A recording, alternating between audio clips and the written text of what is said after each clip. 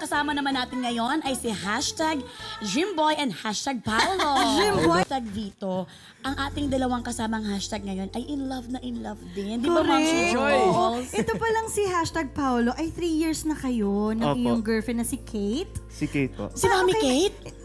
Paano kayo nag-start? Pa, ano nagustuhan mo sa kanya? Ah, na-meet ko po siya s- dahil sa common friend. Tapos, sinabi ko po talaga sa friend ko. Akala ko na-meet mo sa Commonwealth. Commonwealth. Okay. So, yun po. Sinabi ko talaga sa friend ko na, uy, ang ganda niya na, ganyan. Tapos, yun po, nag nag-message na ako sa Instagram niya po. Nagustuhan mo siya agad. Opo, nagustuhan. Kakraz. Pero that time po kasi, nung nakita ko siya, may boyfriend pa siya.